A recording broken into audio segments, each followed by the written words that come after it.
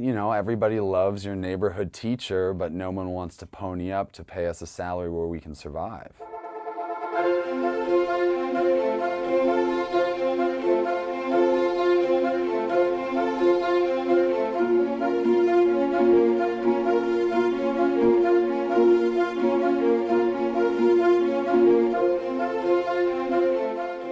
Well, if teaching were easy, we wouldn't have a shortage, right? It is a symptom of the sick and fractured system of education. I think I always had it in me to become a teacher, but I never wanted teacher pay. We're underfunded, we have less resources, we're kind of expected to give up of our time. We're expected to go the, the extra mile all the time without being asked even if I can. You know, I think that it's as important to guide students through an education as it is to help someone in the hospital who's sick or uphold the law in a courtroom. There is a, um, a certain amount of demonization of teachers that goes on, knowing how hard we work and knowing what, what's actually happening in a classroom. It's hard to hear people put down your profession. In somebody's class is the next bioscientist. In somebody's class is the next discoverer. It's so important that we renegotiate what we think about teachers. I would say on a national level, there's too much politics involved in public education. Um, there's too much money tied to policies and ideas about what education should be and how education should happen.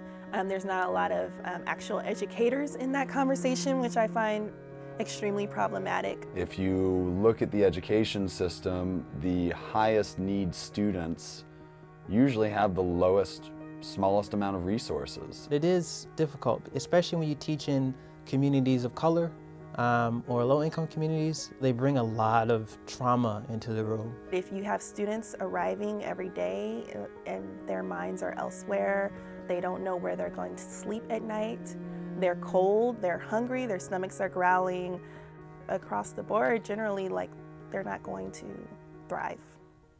I think when you talk to teachers, the thing that we're most frustrated with in regards to our kids is the amount of testing that they have to go through. We are testing children to death and we're testing teachers to death. 20 years ago, we might have spent as much as two weeks testing.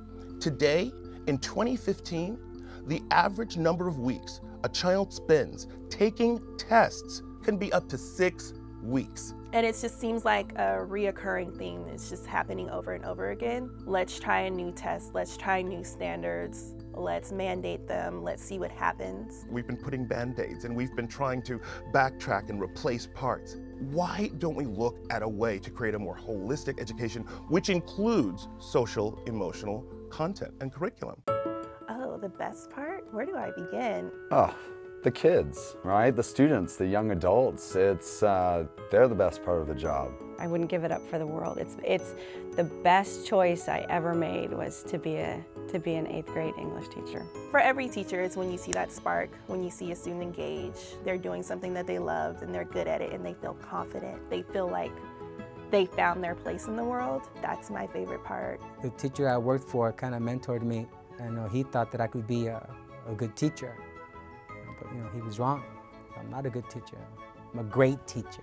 the person sitting in that room is teaching to our future, is teaching to the hope of a nation, is teaching to the, the potential of a world. Might we value that more as a society? Might we value that more?